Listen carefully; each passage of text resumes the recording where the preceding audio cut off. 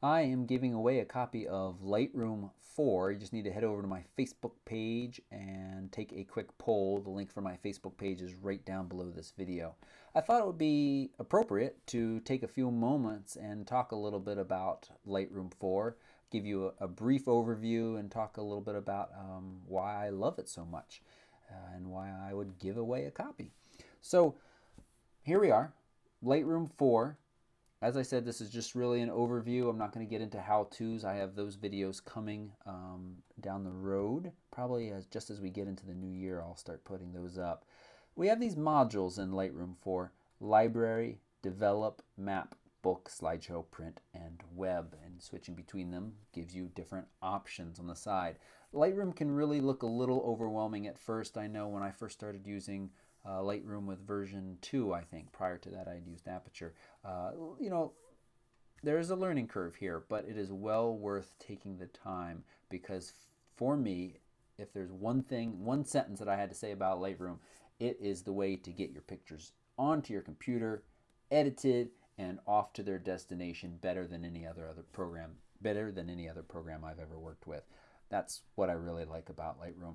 So let's start here in the library module and just kind of give a brief overview of what's going on here. Over on the left I have these folders um, where I keep my images organized. It's just a small subset of a larger catalog.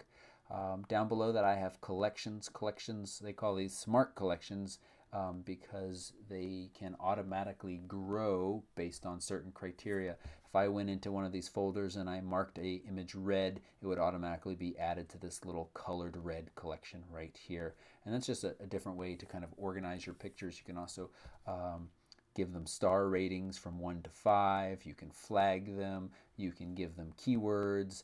Keywords I use, I tag just about every single picture. That is great for the destination you're sending them off to. Uh, places like SmugMug allow you to search by keywords very easily. So I can, with a quick click, say, show me every cat picture I've ever taken.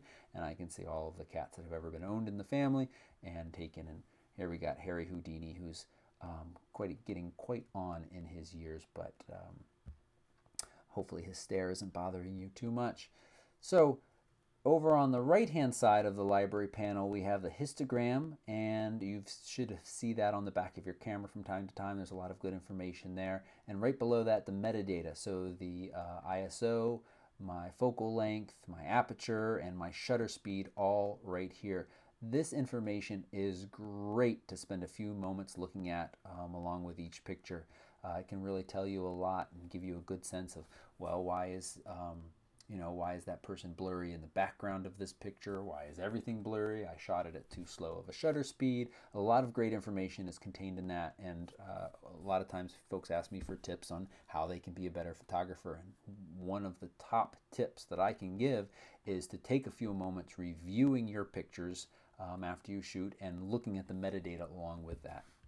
We have this quick develop panel right below that. I very rarely use that because lots more um, uh, Control is provided to you in the develop module, but that's there. Keywording I mentioned. And down underneath of this is you can caption um, your pictures and give them titles.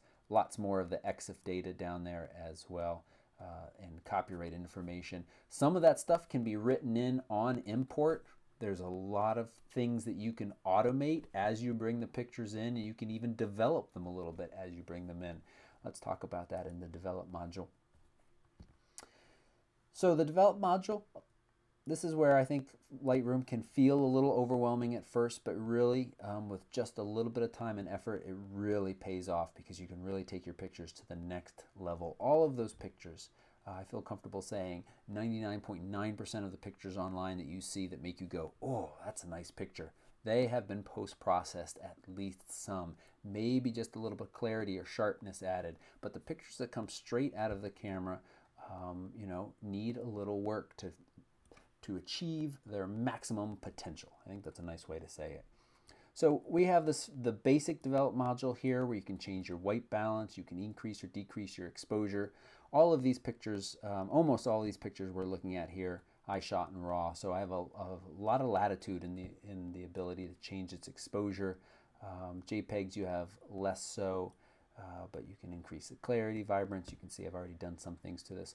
All of these changes I make are non-destructive, which means at any point, let's hear, for example, let's say that I want to turn this into a black or white image. So now it's a black or white image, and I can click off to another image um, and make some changes to that.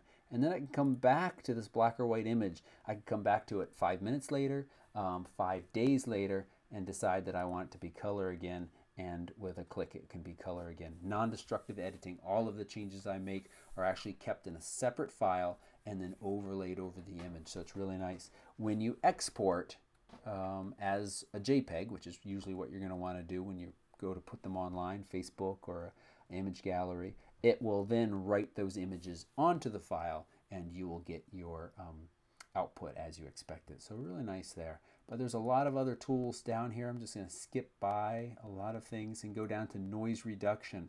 A lot of people agonize about buying a camera that has the best low light performance. Spending a hundred bucks on Lightroom can take your camera and leapfrog it over the next model up because it's really quite amazing the algorithms within Lightroom of the amount of light or sorry the amount of noise or that graininess that you get when you shoot at the higher ISOs the amount that Lightroom is capable of reducing is, is quite impressive. You can also do uh, lens correction so you can uh, correct each picture for any distortion in the lenses. Some lenses are worse than others, um, but that's all options are there. You have red eye reduction. You can, if there was uh, a spot that needs to be cloned out, dust specks and things of that sort, all of those tools are up there and um, quite nice those are probably the two that you're going to spend most of your time in, your library and your develop. We have a lot of other power here though. The map module I like. You can easily tag your images on a map and then when you put them online you can view them. Flickr allows you to do that, SmugMug too, a lot of different places actually. And that is just the fact of dragging an image and dropping it on a map and you can search and uh, pull up another uh, another location and drop it on there as well. That writes in there the GPS, lat the latitude and longitude information of that picture, um, which is very nice. Let's see. Let's go back to the li library module real quick here and uh, show you that an update to Lightroom, which came with Lightroom 4, uh, is that you can do basic video editing now. At very least, you can play the files, you can um, oops, trim them so you can adjust the start and stop location. Um, and you can then, of course, tag them and export them out as well. So that's a really nice feature um, that Lightroom has added now. No heavy editing. I wouldn't call Lightroom a video editor um, by any means. You really can't combine clips and things of that sort or apply transitions, but you can um, trim clips that are in there, and that's a nice feature to it. So, Lightroom, really really worth the time and energy. Works well for me, um, and it's it's something that really can take your pictures to the next level.